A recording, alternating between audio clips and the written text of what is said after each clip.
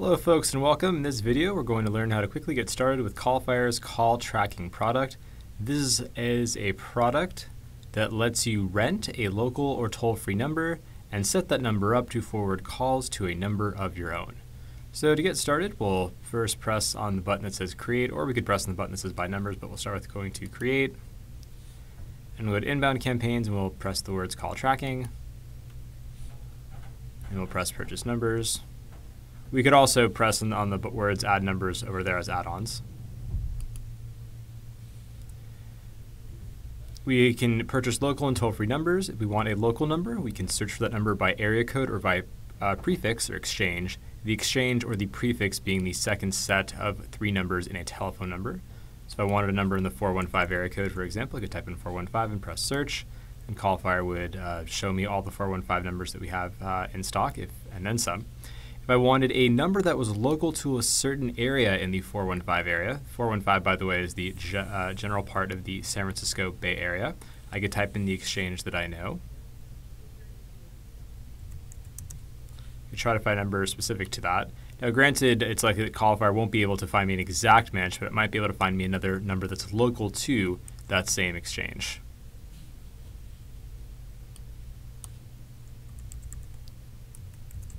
Try this example. So there's no exact matches, but that's okay. I also search for number by zip code, so if I got rid of those two things right there and typed in 90401 or zip code over here in Santa Monica, looks like there are a couple of uh, numbers that CallFire found me. If I wanted a toll-free number, I could click on toll-free numbers, and I could select from any of the toll-free numbers that CallFire has in stock and add them to my cart. Let's go ahead and go with a local number. I'll search a 415 number press search. I'll go with this one over here. If I want to remove a number, I could do that just by pressing the remove button over here. I'm fine with this number, and I'll go ahead and I'll press the purchase numbers uh, button.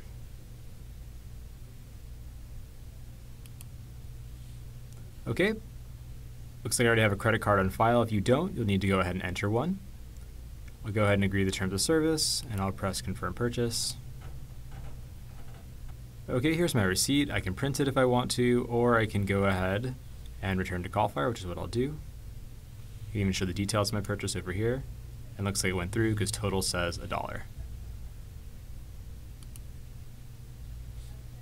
Okay, so if I go to numbers, there's my number over here. Generally speaking, it takes anywhere from uh, one, from I'd say 10 minutes up to 24 hours for my number to be ready to receive phone calls. If I want to use this number for text messaging, in other words, if I want people to send text message to this number, I would just have to text the word subscribe. Again, if I want people to receive text messages, uh, or send text messages rather to this number, all I'd have to do is text the word subscribe to that number, and then it would be ready to receive text messages. The status would change from pending to off. So if I'm ready to configure that number, all I would need to do is check off the box to the left of the phone number and press configure tracking. First thing you would need to do is tell CallFire the number I want to forward calls to. So I'll go ahead and forward calls to the CallFire support number over here. Now there are a bevy of features over here that we can configure. I'll try to go through them as quickly as I can um, without skirting over any of them. However, I will mention that uh, in addition to seeing these little tooltips or question marks over here, which explain how these features work in more detail, you can always consult with the help documentation over here as well. One of the most popular things to do is record all of the phone calls, so I can check that off. I can also configure the numbers so that when I get an incoming call, I'm prompted to press 1 uh, before accepting that phone call. I can also enable a virtual voicemail box on the CallFire side uh, should that call not transfer to me. Why would I want to do that? Well, let's say that I don't want those calls, uh, if I miss them, going to my cell phone's voicemail box. By enabling a virtual voicemail box on the CallFire side, then those missed calls then all go to the CallFire voicemail box that's in my account versus my cell phone's voicemail box. If I choose to uh, enable voicemail if the call is not transferred, I need to make sure that I have a failed transfer message. And that failed transfer message would sound something like, hey, sorry I missed you. And then CallFire by default will have a little greeting that says, please leave your message at the tone. So again, if you want to have a virtual voicemail box with your call tracking number, the two additional things you need to make sure you do are check off enable voicemails if not transferred, then also uh, create a fail transfer message. Just one little tip or trick that uh, most people tend to overlook. If If I wanted to have an intro message, maybe saying something like, this call might be recorded for quality purposes, that's where I'd insert that. A whisper message is really cool. It's essentially a little greeting or alert that only you hear after answering the call, letting you know where that call is coming from. So, for example, let's say that I had this 415 number advertised in a magazine. That whisper message could say something like, This is a call coming from your magazine ad. And then I would hear the lead's voice. That way I'm primed to say certain things. I can also set it up where if someone calls after hours, a different message is played altogether. We can uh, integrate this number so that every time someone calls it, all those uh, calls are then logged as events in your Google Analytics account if you have one. And of course, you can also set it up so that you get an email notification anytime someone calls or sends a text message to this number. I'll go ahead and press finalize. Okay, looks like it's still pending, so I'll go ahead and call the number and we'll see what happens. Thank you for calling CallFire. If you know your party's extension, you may Excellent, that call successfully forwarded. So if we go ahead and refresh my screen over here, we'll see that in fact the reporting updated. Now it's on at least. Let's see if we now have updated reporting. Yep, looks like there, it shows two calls came in and there was a one transfer. If we go look at the reporting in further detail, we'll go ahead and press the phone number itself.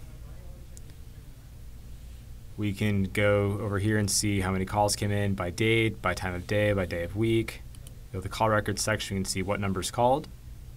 Now, there are two legs to every phone call. Uh, the first leg of the call is, of course, the uh, setup before the transfer and then the actual transfer. So, the number that you really want to pay attention to on the numbers page is transfers. That represents the actual number of transferred calls that came in. And in a perfect world, the number of calls will always be double the amount of transfers because there are, in fact, two legs to every phone call that comes into your call tracking number. I go to call records, I can see each phone number that has come in. I want to play, uh, hear what the recording was of that call, I could uh, stream it by pressing the circle, or I could download it pressing the square with the down arrow and the box.